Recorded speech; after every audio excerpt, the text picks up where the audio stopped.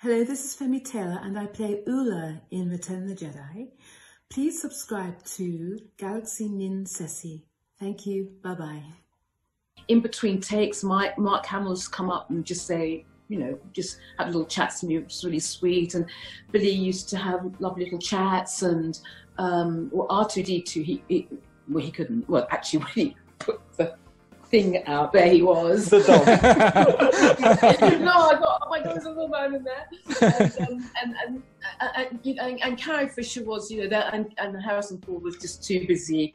I think, I think Carrie wanted to just get on to her next scene.